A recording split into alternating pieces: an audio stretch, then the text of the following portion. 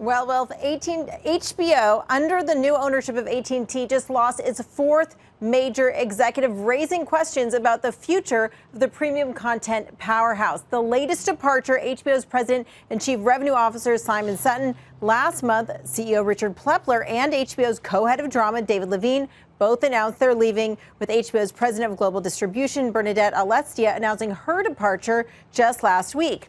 Also leaving AT&T's now Warner Media, Turner president David Levy. These departures due to a combination of the consolidation and the new hierarchy in place.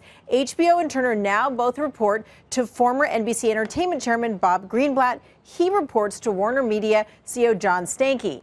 AT&T CEO Randall Stephenson just today responding to these departures, saying the company is on track for its new focus on distributing content directly to consumers.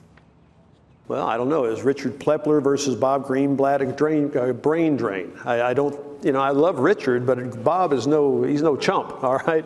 This is a very talented executive, and so I, I feel actually pretty good about that. The reorganization of Warner Media under Bob Greenblatt is very much underway. Just today, AT&T offering buyouts to all Turner executives over the age of 55 with more than 10 years experience. This as the company folds together Turner along with HBO. Now, in terms of HBO, the team that's departing did put in place the content pipeline of the shows we'll see for the next year or two. We'll have to see whether AT&T can attract new talent and hold on to the talent it has.